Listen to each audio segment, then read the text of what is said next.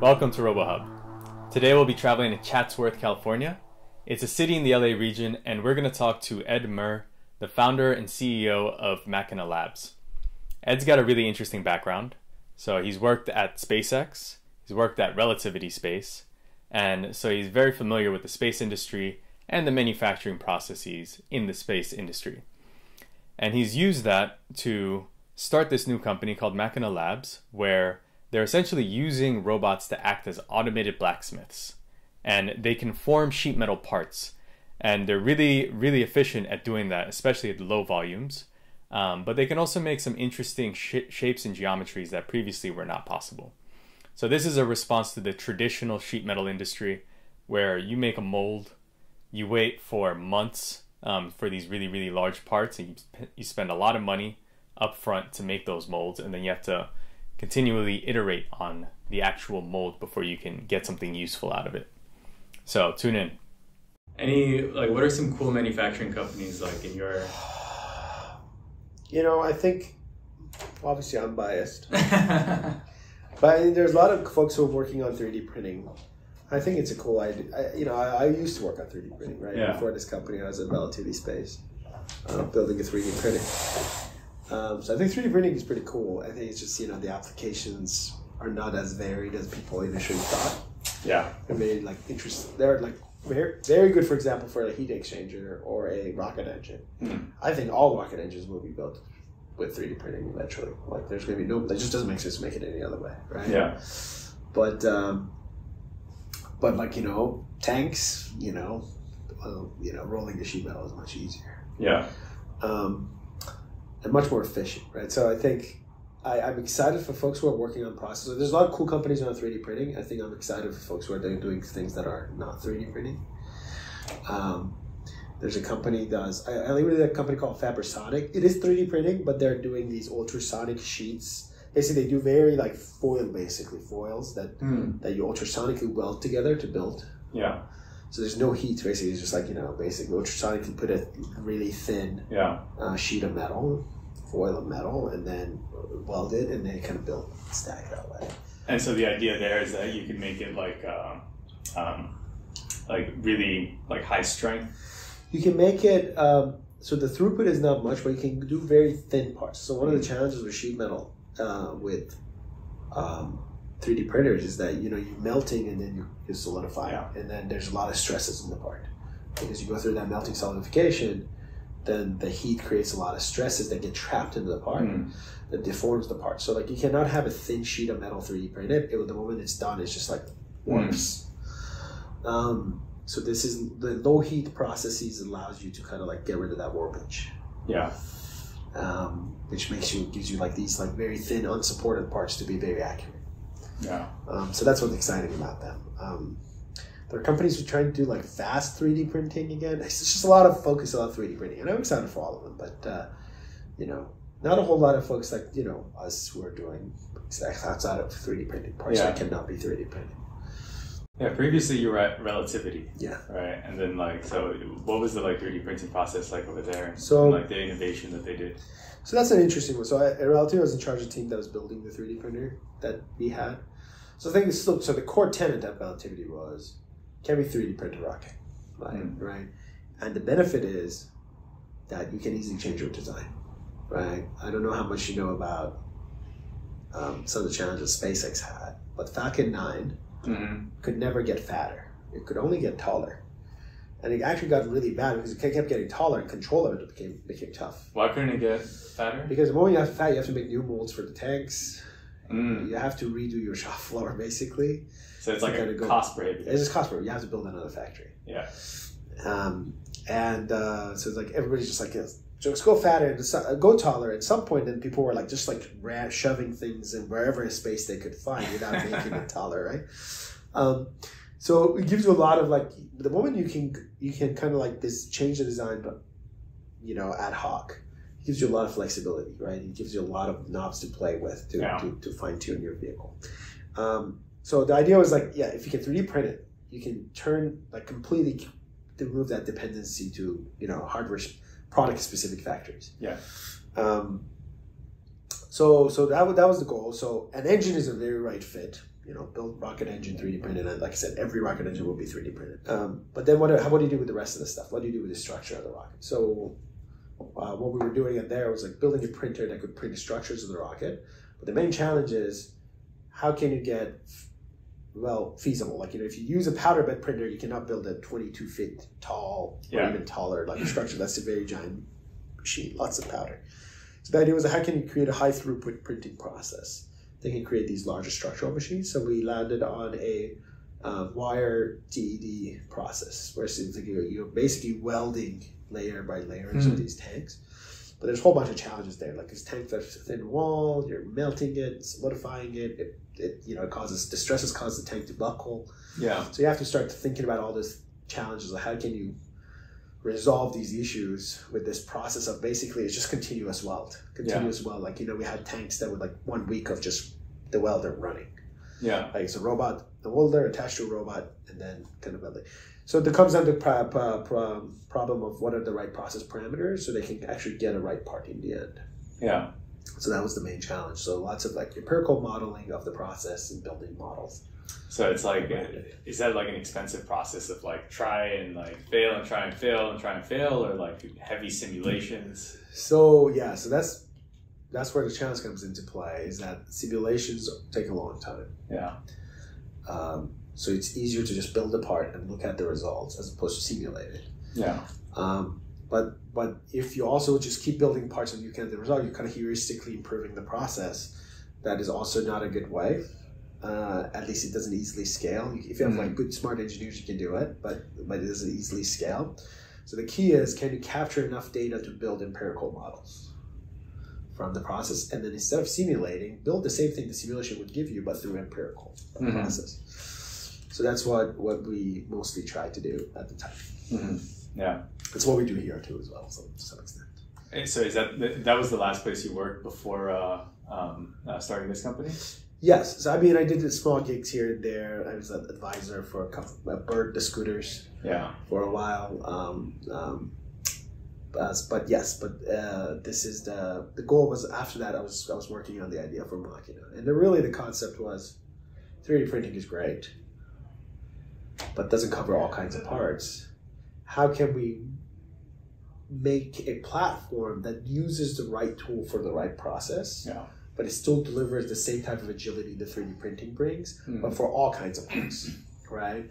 Which was like kind of result of this idea of robotic craftsmen, Yeah. right? Because craftsmen are super flexible. If you can robotize that, then maybe that's the interesting thesis for a unit of manufacturing for future factories. Yeah. Because then that way you can just make it repeatable. You can Yes, you can scale it. and- You can yes, you replicate it, scale it.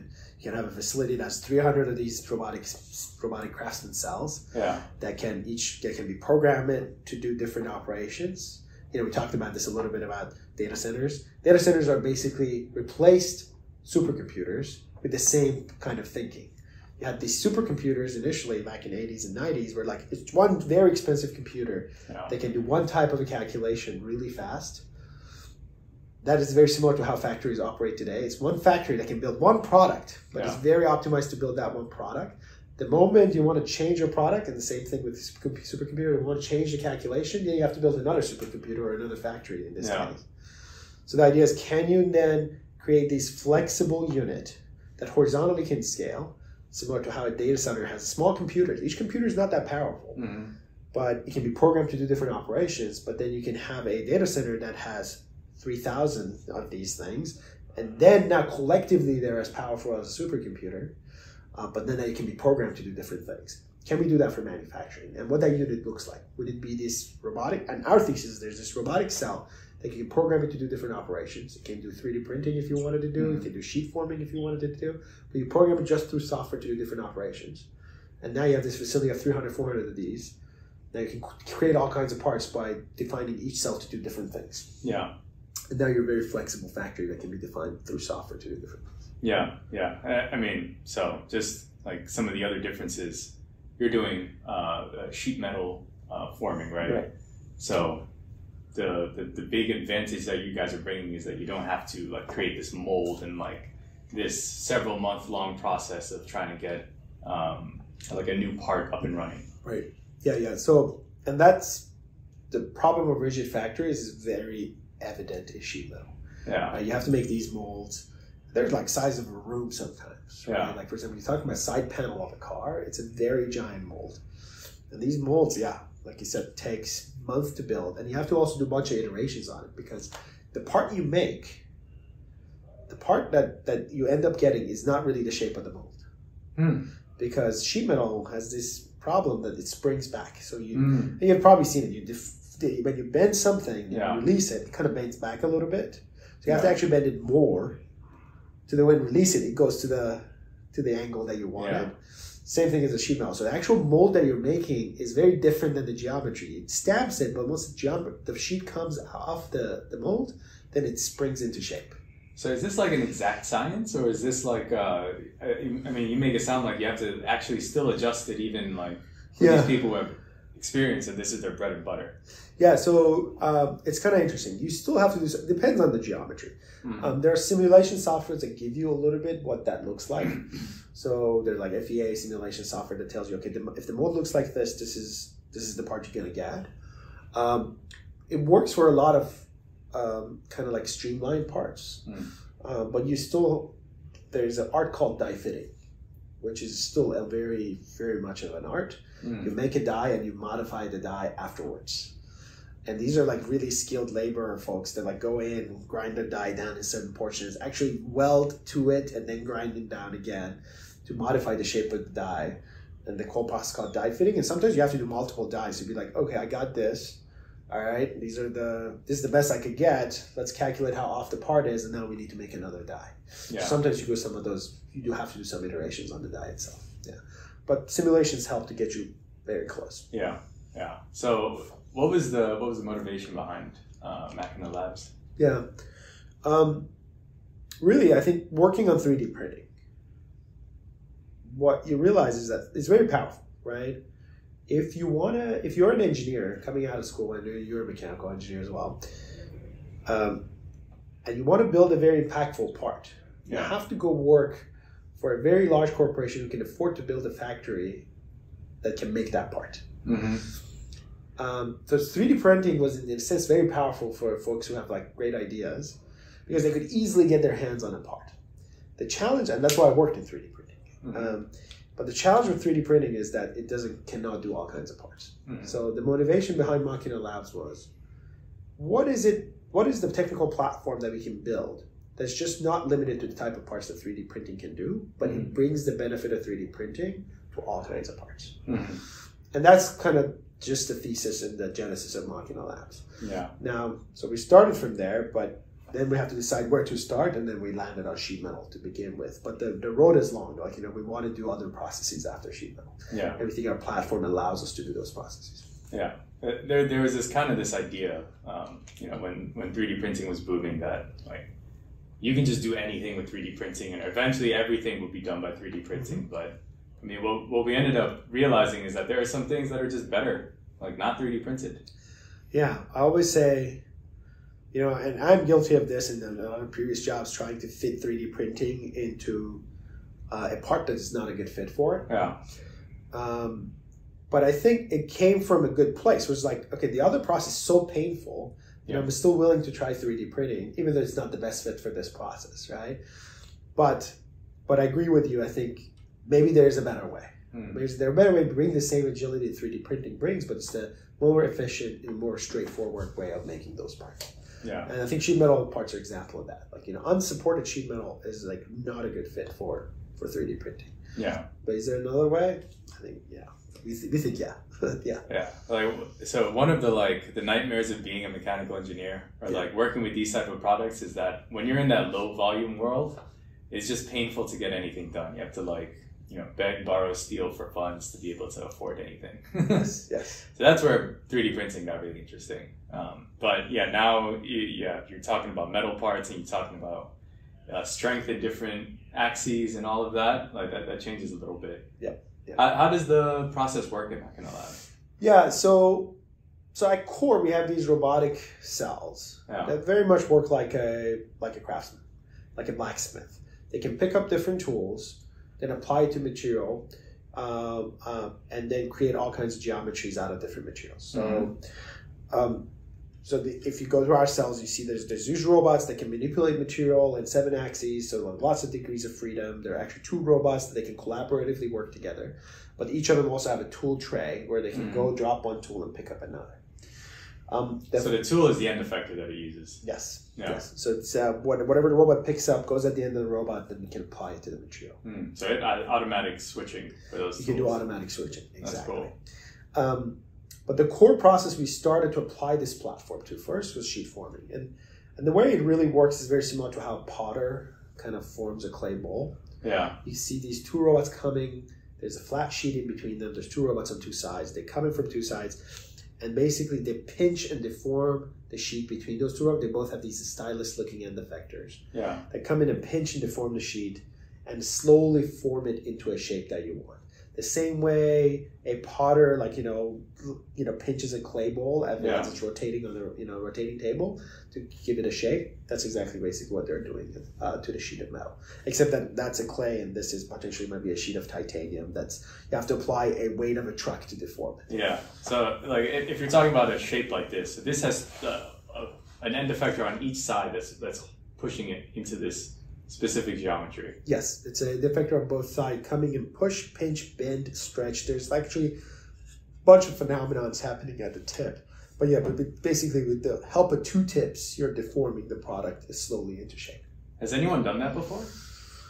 There has been academia has been thinking about this. Maybe I would say similar concepts over the past twenty to thirty years. Right? Actually, some of them, um, uh, like example, in Northwestern, that you know Professor uh, Jian Cao, who is advisor to our company as well, has been probably one of the older, one of the most prolific researchers in this area. Yeah. Um, it's a field of called incremental forming.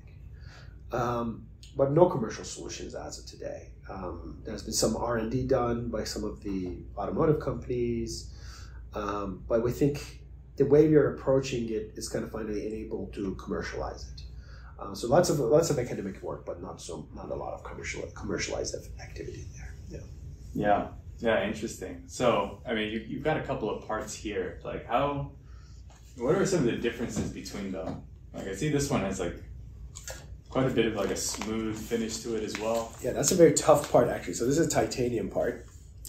Um, titanium traditionally is very hard to form in room temperature. It actually cracks usually. Hmm. So like TI6 for um, obviously very common alloy in aerospace because it has a very good weight to strength ratio. So it's super light and super strong. Um, so it's a very good fit. For example, applications that are either you need like you know hypersonic planes. Um, uh, it's it's commonly used, but you can't really form it. So traditionally, people the only process they use either um, they mostly machine it. And Yeah. if you want to uh, 3D print it, you need a special printer that is very um, uh, can because it's also very easily um, uh, corrodes. Yeah. Uh, so like you need to have a very environmentally controlled 3D printer if you want to print it. So we are able to basically form this material. So that's one. In addition to kind of provide more flexibility to forming, um, our process can also form some of the materials that traditionally were not possible, and this is one of them. Yeah. But we also form other parts from like aluminum. These are aluminum parts. To uh, we have steel parts in the corner, uh, stainless steel. Um, So uh, you know, you look at the, the the physical model of this. Like, how true to the the model that's designed by the customer is this final shape? well, that one that one is a test piece, Mhm. right? So uh, I don't know if there was even a design behind it. Mm. Um, but like you look at these parts, let's say look at this part. This is plus minus one millimeter of the customer part. Um, and the main challenge is when you're forming a part. When you're forming a part, like I said, with sheet metal, sheet metal has a lot of spring back in it. You form it, and when you're done and you cut the material, it actually moves a little bit. Um, so those are the things we kind of account for in our software stack. What is the actual part you have to form that once you cut it and trimmed it out, it springs into the Yeah. right geometry?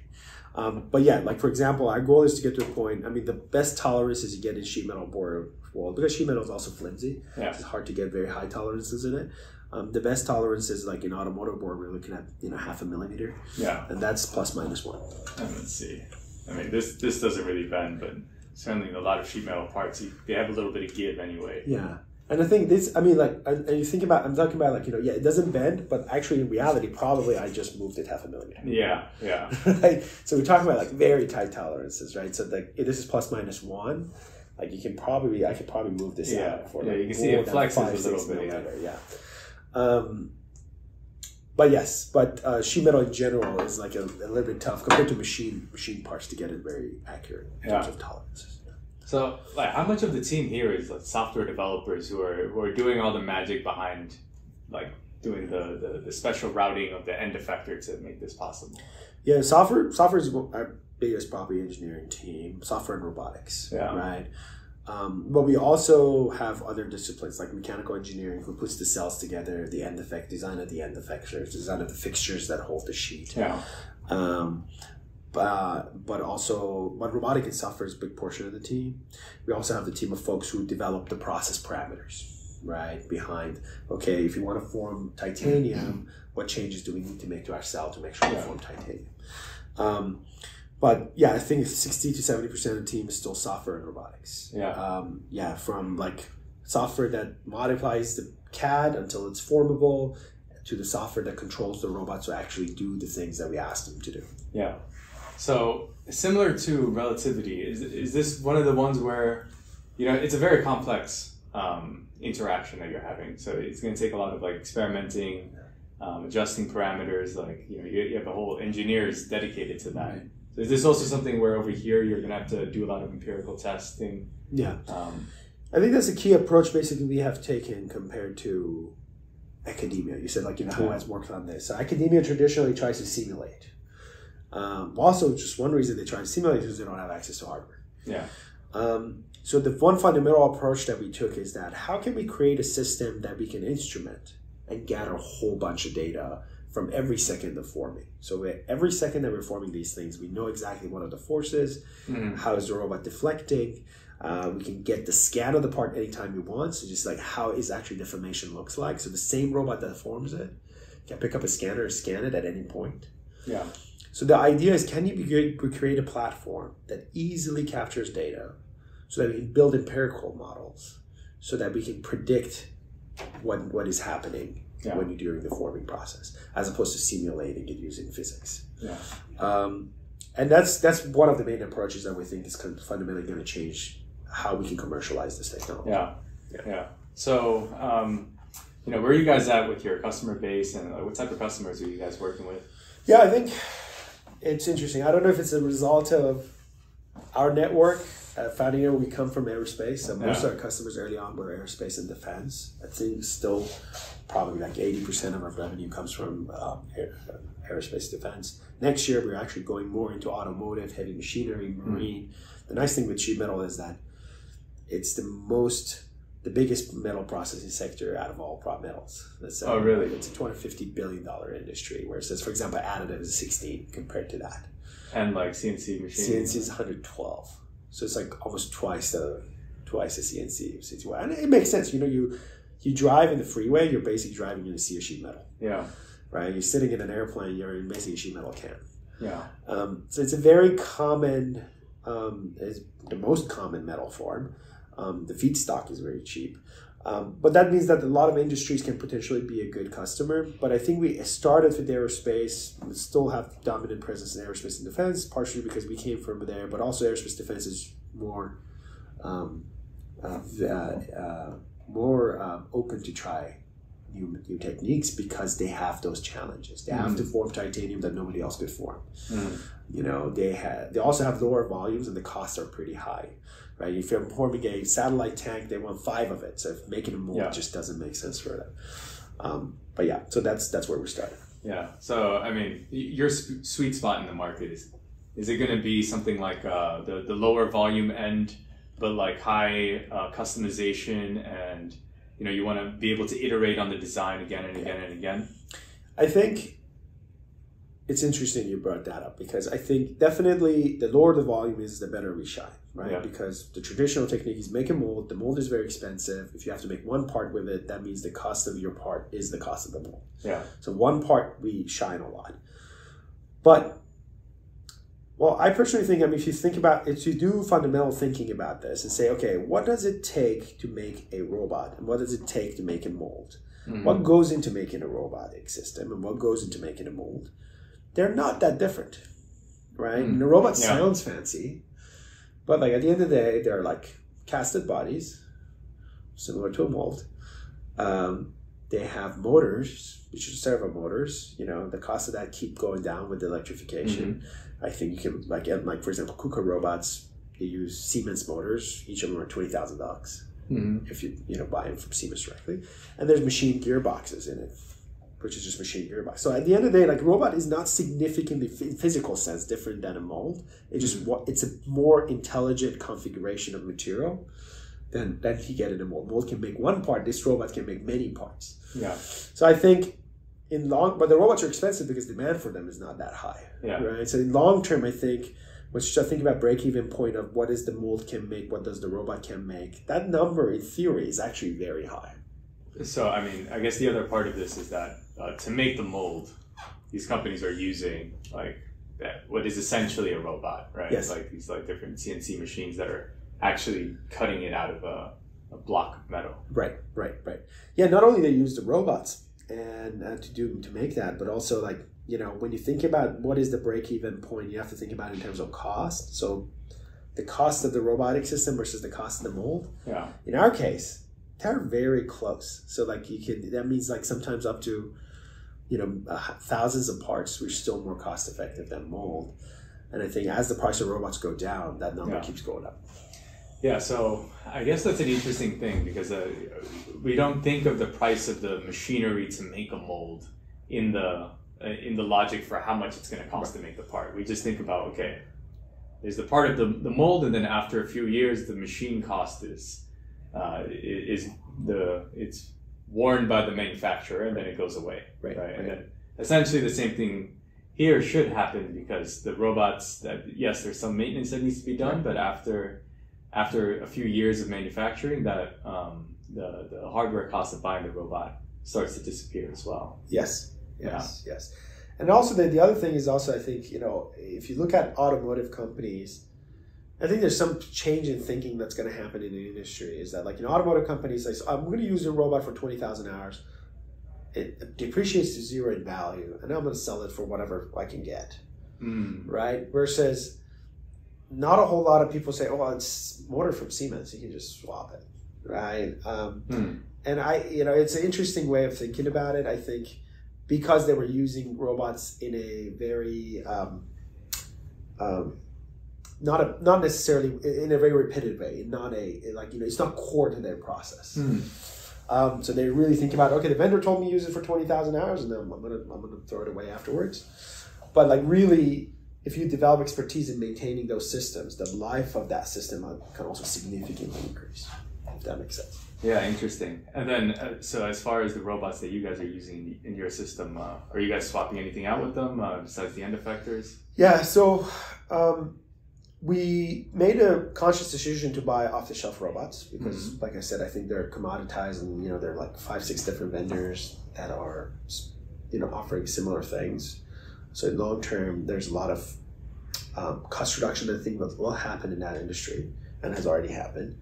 Um, but uh, so we, yeah, intentionally chose to use off-the-shelf robotics, but we do make modifications to them um, to make it fit our process. Yeah. For example, we need to make these robots very accurate on their very high dynamic load, Yeah, which is not something the traditional robotic systems are thinking about in terms of their controls. that's interesting. And that can be either addition of external encoders to the robots or changing their controls so that they can actually count, account for dynamic load yeah, and accuracy. Those are the things that we do to the robots to make it fit for our process. yeah, because nobody's using uh, robots to, or these ro- robotic arms to bend titanium. Yes, yes. Most of the applications like repeat the same thing, Yeah. move one thing from one location, like material handling, or spot weld the same location over and over again. Yeah, right? yeah. In, in that way, it almost makes more sense to use it in this application than when you see it. You know, there's like a there's a fruit that it's lifting up, and it's this like well two thousand pound arm. right, right.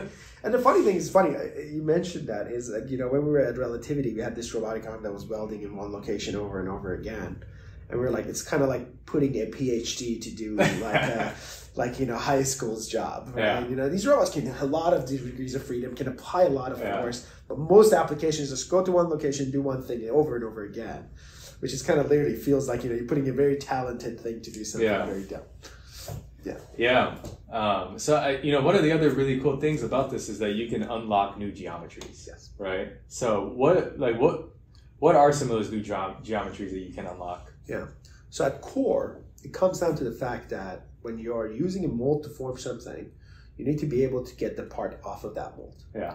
So the moment the wall angles of your geometry is more than 90 degrees, Yeah. actually even if it's close to 90 degrees, in stamping they usually say draft angles should be, you know, you have a certain minimum draft angles. You're like, okay, you know, it cannot be less than five, six degrees. That means your wall angles are only like 86, 85 degrees.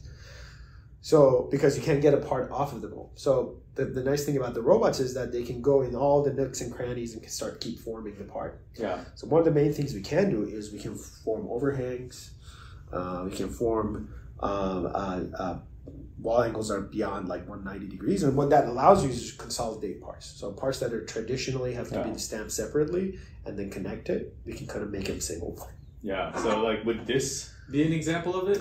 That is not a good example of it, but this is a good example of it, right? I mean, this is it's not easy to see in this part, but this is also so there's 90 degrees on the Yeah. side of these.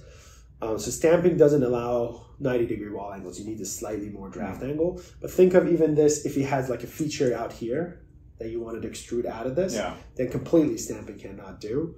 Unless you do some very complex die which comes out in pieces. So you can open up the die and take the pieces out. Yeah. Um, uh, yes, so that's that's that, that's example of like the type of geometry we can do that the stamping cannot easily do. Yeah. Yeah. And also, you showed me this part, which like this is a really interesting uh, mechanic that this has. Yeah, no, um, uh, yeah, no. This is this is a very interesting thing as you mentioned. So when you form a a part for some of the alloys, Yeah. um, the portion that gets strained um, can actually change phase. Uh, basically, becomes a different alloy. Yeah. So in this case, this is a 304 uh, uh, stainless steel. And if you look at the top portion of it, it's actually not magnetic.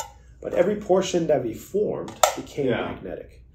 Um, and this has ended up like for some of our customers have very interesting applications where you want to locally change the property of the material, which you cannot also do in stamping because if you stamp this thing, the whole thing gets strained and yeah. the whole part becomes magnetic So versus with yeah, us, even the flat parts are getting strained over Yes. here. yeah, which is with our case, only certain portions that we did we kind of strained um, became magnetic. Yeah. And is there something special you have to do with uh, with like the type of strain that you put on there that would make it magnetic? Yes, so like i- uh, like in this specific case, the more strain you would get in the material, the more magnetic it would become. Um, so it comes down to like basically put more forming into it or work that portion a little bit more, even if you're not forming it more. Meaning that apply more uh, stresses to that to that area, and Yeah. then you get a better, you get a um, more magnetic part. Speaking of the parts that the type of things that we enabled that traditionally was not available to stamping, this is another one. So traditionally, so this is a composite part, Okay. right? Um, and this is a composite mold. But traditionally, molds are machined. Yeah. So what, what, what is a composite mold? So when you want to build a composite part, um, you need to have a mold where you lay up composite on top of it, and then you put it in a vacuum bag, you put it in an oven, and then you can cure the part, and you get your final part. So the mold is basically um, the, the initial geometry that you lay up your composite on top of. The challenge is in the composite world is that that mold is actually usually the bottleneck. So every time you want to change your design, you have to make another mold. Uh, and these molds are usually machined. Um, now, traditionally, sheet metal was not a good process for or good material or feedstock for mold making because you need to have a mold to form a sheet metal. Yeah. So now, because our process doesn't require mold, now we actually opened up sheet metal for being a mold for composite processes. So this is a mold that we Oh, formed, that's very interesting. and I think tradition is going to be heavy. I'm going to try and see if I can move it. This is like Oh my god. this is what traditionally the mold would have looked like, right? This is night and day difference. Right. So this is like a 44 pound mold. This is only one and a half pound. Yeah. Um, So this is what they would traditionally do, and this is what is enabled with our process. So now we actually can bring cheaper, faster molds um, to composite world, where um, traditionally wasn't possible. Um, and stamping didn't make sense because you had to make a mold to form that part anyway. Yeah. Yeah, I mean, so you, you could just see like even just the weight difference in the, the handling. You know, Yes. there's like all safety, not to mention. Yeah, and I showed you downstairs. So this is like smallest mold.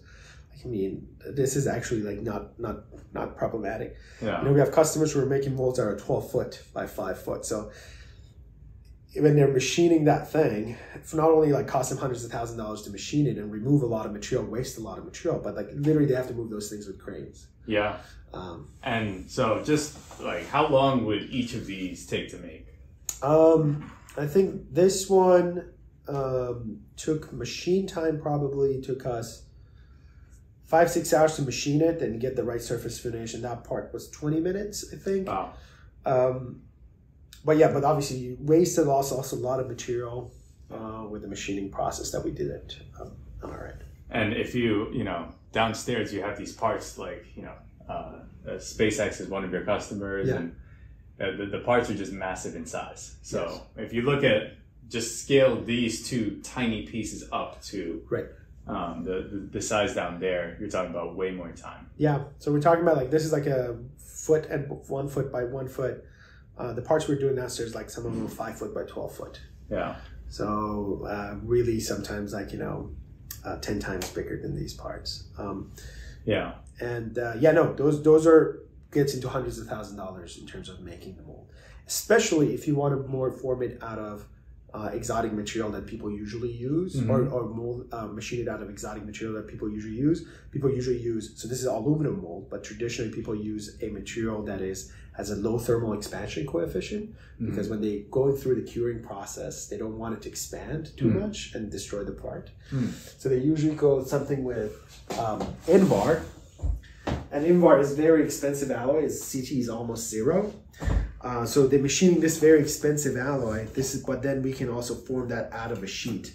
So the actual um, uh, like waste that you have on this exotic alloy is also significantly reduces. And Invar, what is that exactly? So Invar is a steel alloy that has coefficient expansion coefficient of zero almost, meaning that you can heat that part up, it will not expand, Yeah.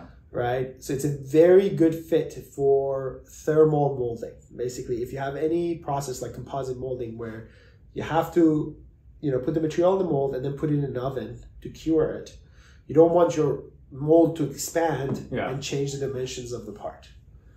Um, so people a lot of times use Invar, but it's a very expensive alloy because it has some um, trace elements in it that are very hard to find. Yeah. Yeah. So, um, yeah. So how long have you guys been uh, been doing this so far?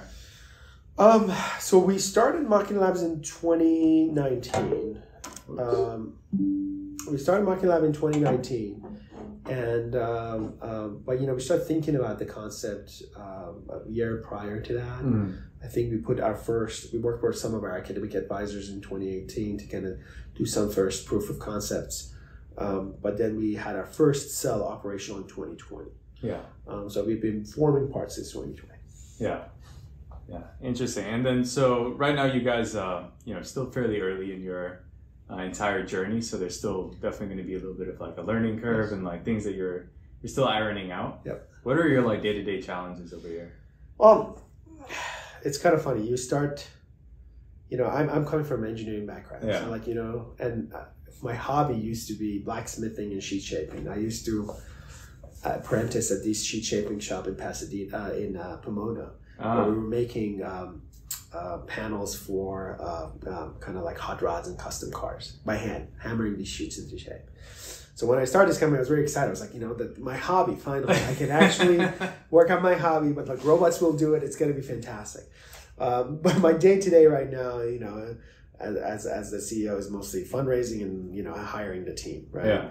So, you know, we're significantly growing. We're like around 40, 45 people right now. We're Mhm. trying to get to 140 by the end of the year. So Oh wow, that's a massive growth. hire. Yeah, So that's definitely something that keeps you in mind. yeah, But also like econ like economy has kind of changed a little bit, right? You know, right now we seem like you know we are in an unofficial recession. mm-hmm. Um, and you know how would that affect in terms of like you know kind of our ability of our customers to pay i'm not too worried about it i think manufacturing is an area of focus but something that i do kind of consider is like you know how much funding we're gonna we're gonna have but i think we're in a good shape in general in that fund but like growing the team to 140 people definitely is something that keeps me awake at night Yeah, I mean it's it's something that's keeping you awake at night, but most people are not faced with that challenge right now.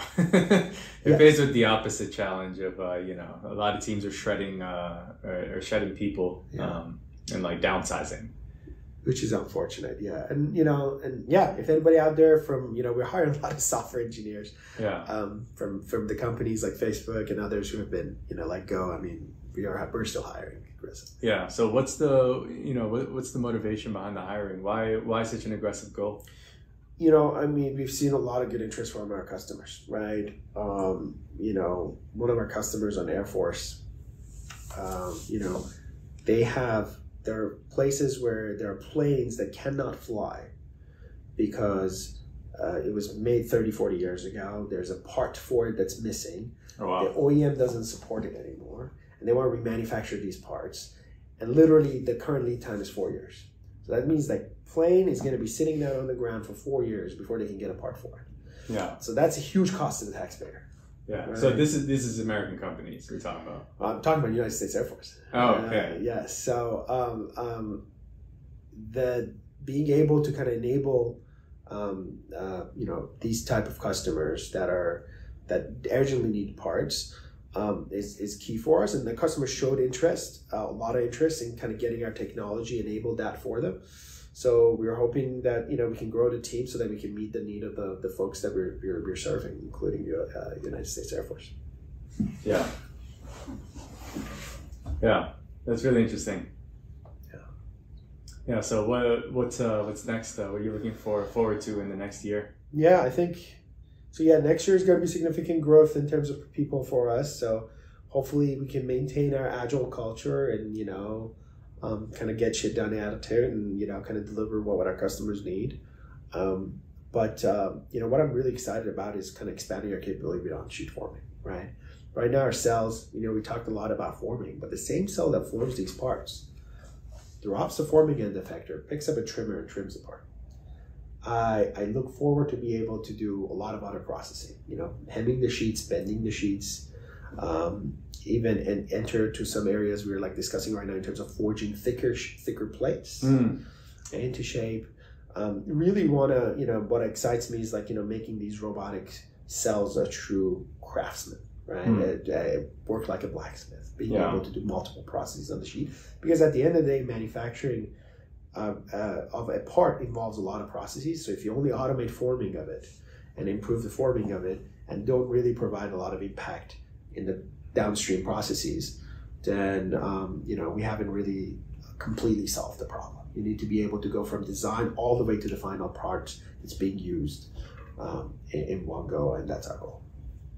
Awesome. It, you can see that the idea makes sense, right? Just logically, like it makes sense. Like, oh, you would do this, like you know, form it, low volume. Like Right. it, it just makes perfect sense. But certainly, I guess one of the challenges is like you're talking about uh, these big, expensive robots that you have to buy. Um, Yeah. How'd you get over that? Well, uh, really, I think when you compare the cost of the die, they're not that expensive. Hmm. right? Um, surprisingly, you know, the robots robot prices have been going down over years, right? You know, right now you can buy some of the robots you see downstairs like 100, 120k each. Mhm.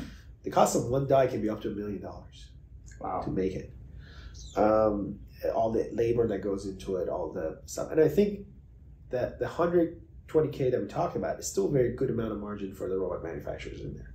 Yeah. Right? As as the volumes increases and robots have more demand, that price can go much further down. I mean, there's no reason why a robot is more expensive than a car. Car is way more complicated system Yeah. than a robot. Um, it's just that there's more demand for it. So if you go into an economy where there that there is a lot of demand for the robots, then the cost won't go down. I mean, like I said, like fundamentally think about it in terms of physics, there's not Yeah. much in these robots. I mean, if I open them up, cassette body, motor, which is a just a servo motor, like literally, like you go buy it from Siemens, the same motor that Kuka used. Buy it Yeah. from It's two two thousand dollars. Um, and then, and then there's a machine gearbox, like you know. So, why would it need? Why does it need to be 120k? Yeah. right? Um, so I think the, the, when you think about it in that term, it's actually not that high, and I think that's one of the reasons we started with sheet metal because the cost of die is so high. So I think it makes sense for relatively large volumes for the, the amount of robot, the amount of time, the amount of parts a robot can do compared to a die are very comparable. Um, in terms. but then the nice thing about robots is Is that number like We 50k? um, depends, right? Like some parts it can be three, four thousand. Some parts it can be two hundred thousand. Yeah, the average may be somewhere around like you know 30, 40 k. Yeah. Obviously, not as good as, as good. Like if you think of F one fifty, you make a million of it, right? Obviously, you're never gonna replace that, right? Yeah. Um, but the question becomes, um, why are we making a million of an F one fifty? Right? Most industries where fast iteration becomes became possible, then then the, the number of iteration went up instead of like instead of like making the same thing over and over. Mm. And you see in the software world, like you know, and you're familiar with it, app designs come out every week. Yeah. Uh, and updates go out even daily sometimes. But in car industry, five years, Yeah. right? Yeah. I mean, part of it is they're just like they have really high accountability. Anything goes wrong in a car, you have a recall, and then that's just like a terrifying part for them. Yeah, but the question is also why is that terrifying? I think if you actually go into deep, I think it is because like things like dies are so expensive that you'd be like, okay, I need to make enough of this this car to make break even on the cost of the factory. But if the cost of the factory was lower, I could easily switch. Yeah. And also, like reliability increases usually with iteration. Mm. It's just because it's very hard to iterate, and that's why they don't want to Mm. touch it. But like, if I could try something and be like, "Oh, that didn't work," replace them all, and Yeah. I can make something in two months, Yeah. right? Um, I think, yeah, I think it's a little bit of chicken and egg problem. We kind of make a million parts to make the parts cheaper, not necessarily because we're making a million parts because making a million of them is good. Yeah, yeah, and you know, you, you definitely get into that world where like you if you as you iterate, you get like a certain number of iterations with some of these processes where the turnaround time is like, all right, the next iteration will come in three weeks, the next iteration will Yeah. come in a month. You don't want to iterate forever. You're gonna lose like the market. You're gonna Yes. lose like you, just have to send it out to, to the market, right? And then that forces you to make that trade off where you're you're you know something could be better, Yeah. but instead of taking that extra stre- step to get a second iteration, Yeah. you just pack it up and ship it, right? Yes. It's like, uh, not ideal. You know, people will complain about it, Right. and as an engineer, it's kind of painful because people complain about it, and you know going into it Right, right. that was gonna happen. Um. So, yeah, that, that's that's a really interesting like new uh, thing that comes out of this. Yeah, and yeah, exactly. And I think it's funny, you know, a lot of those folks, and I'm wondering how much of if a technology like these become more available and reliable, how much of the folks who are doing high volume will go to lower volumes Yeah. and be like, you know what, for the sake of our customers, we're going to iterate more. And I think some push is already there. I mean, like with like Tesla and Rivian, you know, we have like Honda coming to us and say, okay, you know, I have Civic, I'm making 800,000 of those a year. But I cannot guarantee that my next EV car will sell as much. Yeah. So am I either going to eat the cost of putting that factory together or can I make it cheap enough so I can make 5,000 of them and test it? Yeah. Yeah. right? I think with that market force of Rivians and Teslas, they're like thinking about it. They'll be like, okay, we can't do it exactly the same way we did before. Yeah. Uh, just to bring it back all the way, like what made you want to go into this industry? What, what, what made you like excited about this? What made you, you said something earlier about, uh, you know, forming cars and, uh, Yeah. you know, th- this like love of like blacksmithing and like, Yeah. I mean, that's definitely a big part of it. You know, I was always like to make things with my hand. Um, it was funny. You know, I- I went to this school. It was like almost a boarding school that like was a lot of emphasis on shop, right? So like we spent the early, very early days since I was like in elementary school, like a lot of time in shop. You know, started with building. You know, we would cut these plates of steel to make like bottle openers and things we liked. Um, and then I did a lot of like, you know, in the summers we to go to camp and do a lot of like, you know, carpentry and things like that. So that was just something that I'm personally interested in. And then I think when I got to high school, that like computers was the thing that looks like oh Mhm. computers are fucking fantastic. Like you know like I wanna I wanna I want, this seems like just you know crazy amount of creativity and innovation you can have because there's no limitation of physical. Yeah. So you go, I went toward that, right? And then you know I became a computer engineer actually uh, when I went to school, and but then I think after school I realized like like I still want to work in physical spaces, and I think kind of this is now combining both of those for me is at a personal level Mm. where like you know you can bring computers and robotics, have that flexibility, but maybe bring it to the physical world uh, and build things. And I think that is the next frontier. I think you know you look at, you know, Chat GPT and AI in the virtual world. They're they're going bananas. They're going Yeah. doing all those kinds of crazy things. You can almost talk to a computer and it will give you all kinds of answers like a human would. It's very soon that we get to a point where you can also ask computer to design things. I think there are Oh, folks yeah. that are already working on that. So you can be like, oh, design me a car that looks as sporty and has this feature and that feature, and we'll design that car for you. Now the question becomes, how do you take that out of the virtual world and manufacture it? Today, unfortunately, not everything can be manufactured because of the pro- limitation of the processes. Mhm. Like everything you build, everything you can imagine, like most of the things you can imagine probably can't be manufactured. Yeah. you know, and you know it as a mechanical engineer. Yeah. There's this process we call design for manufacturability, DFM.